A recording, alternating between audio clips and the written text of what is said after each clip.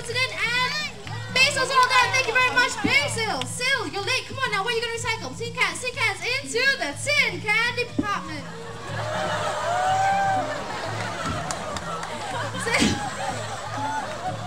Sil, you're missing the point. Let it go. Just drop it in. Come on, Sil. Why are you juggling the can?